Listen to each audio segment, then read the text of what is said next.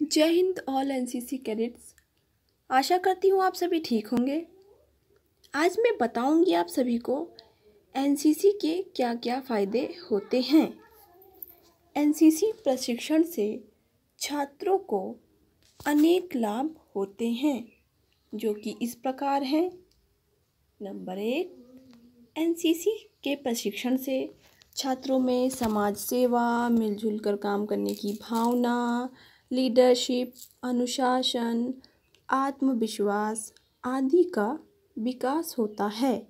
Number दो, NCC में प्रशिक्षण हेतु विभिन्न कैंप विभिन्न स्थानों पर लगाए जाते हैं, जिससे छात्रों को महत्वपूर्ण ऐतिहासिक, औद्योगिक तथा सामुदायिक केंद्रों का भ्रमण कराया जाए और उनके ज्ञान को बढ़ाया जाए।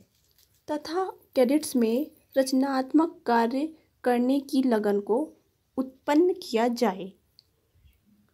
नंबर तीन, एनसीसी में छात्रों को नागरिक सुरक्षा तथा स्वयं की सुरक्षा की उचित शिक्षा दी जाती है।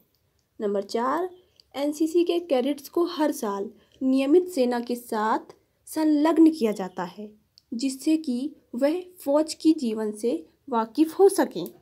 नंबर पाँच एनसीसी कैडेट्स को पर्वतारोहण पैरासूट से छलांग लगाने आदि का प्रशिक्षण दिया जाता है, जिससे उनमें साहसिक कार्य को करने की क्षमता को बढ़ाया जा सके।